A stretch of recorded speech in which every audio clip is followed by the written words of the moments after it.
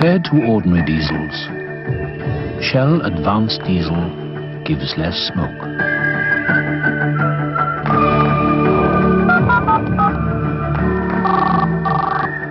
You can tell when it's Shell.